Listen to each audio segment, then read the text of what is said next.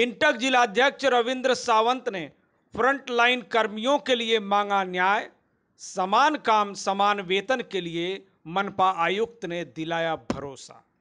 इंटक के नवीमुंबई जिलाध्यक्ष एवं कांग्रेस प्रवक्ता रविंद्र सावंत ने आज मेडिकल और आरोग्य कर्मियों के लिए समान काम, समान वेतन का मुद्दा उठाते हुए आयुक्त अभिजीत बांगर से मुलाकात की और कॉन्ट्रैक्ट कर्मचारियों के लिए न्याय देने की मांग की। रविंद्र सावंत ने कहा कि कॉन्ट्रैक्ट पद्धति पर काम करने वाले आरोग्य कर्मी भी स्थायी कर्मियों की तरह जोखिम लेकर ड्यूटी निभा रहे हैं। ऐसे में फ्रंटलाइन वर्कर्स को भी समान वेतन और सुविधाएँ मिलनी चाहिए। उन्होंने विश्वास जताया कि आयुक्त तो उनकी मांग पर सकारात्मक फैसला ज़रूर करेंगे। दिक्कत, दिक्कतें तो नहीं आनी चाहिए, क्योंकि ये पालिका सेवा में जो परमानेंट कामगार जितना काम कर रहा है, उतना ही ठोक मानदंड में काम करने वाले एएनएम हो नर्सेस हो, जो एमपीडब्ल्यू हो एसआई हो, जो भी आज क्लेरिकल स्टाफ हो, जो सिपाही हो, जो भी काम कर रहे हैं, वो कोविड में दिल से काम कर रहे हैं, अगर वो उनको अगर आरोग्य सुविधा महापालिका ने देने चाहिए, इसके लिए हमने आज निवेदन आयुक्त को दिया है।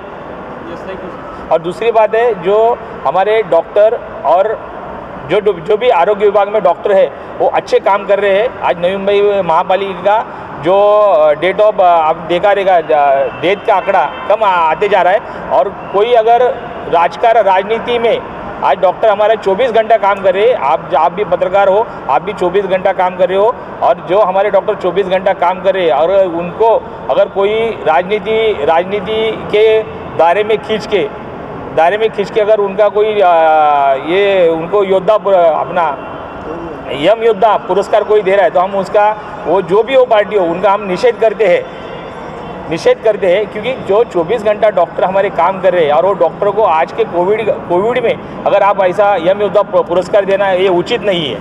कमिश्नर साहब ने पिछली बार भी आश्वासन दिया था ये बार भी आश्वासन दिया है कि जो थोक मानदंड में काम करने वाले जो अभी का, यहाँ पे कामगार है, जो कोविड में काम कर रहे हैं, उनकी जो पगार पगार की तफावत है, दूर करने के लिए हमने आयुक्त को निवेदन दिया है और उन्होंने कहा है कि ये पगार की तफावत दूर की जाएगी। बता दें कि नवी मनपा में हज़ारों आरोग्य कर्मी ठेका या दैनिक वेतन पर कार्यरत हैं। हालाँकि उन्हें तमाम सुविधाएँ नहीं मिलती हैं जो स्थायी कर्मचारियों को मिलती हैं।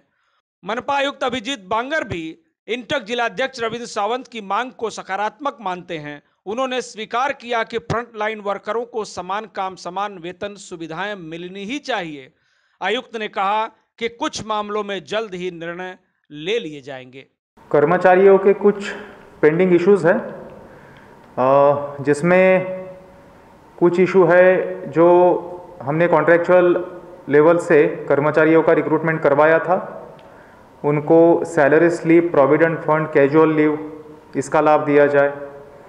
फिर, एक 12 साल या 24 साल जिनके पूरे हुए हैं एंड उसमें प्रमोशन का कोई पॉसिबिलिटी उस काडर में नहीं होता है। उनको प्रमोशन ना होने की वजह से एडवांस इंक्रीमेंट देने का प्रावधान गवर्नमेंट जीआर में होता है। तो वो जिन लोगों को नहीं मिला है, उनको वो दिया जाए। इसके अलावा हम देख रहे हैं कि कोविड में बहुत सारे अधिकारी कर्मचारी बहुत अच्छा काम कर रहे हैं, लेकिन उनका मोटिवेशन बनाए रखने के लिए उनके जो इस्टेब्लिशमेंट रिलेटेड मैटर्स होते हैं, वो बहुत प्रायोरिटी पे उनका हल ढूंढना इंपॉर्टेंट है।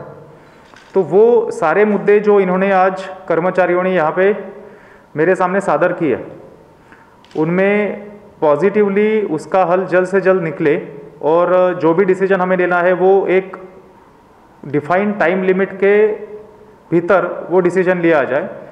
ऐसे डायरेक्शन मैंने हमारे अधिकारियों को दिए हैं। Bureau report TV one India. Latest update और खबरों के लिए टीवी वन इंडिया को सब्सक्राइब करें और नोटिफिकेशन पाने के लिए बेल आइकॉन को दबाना मत भूलें।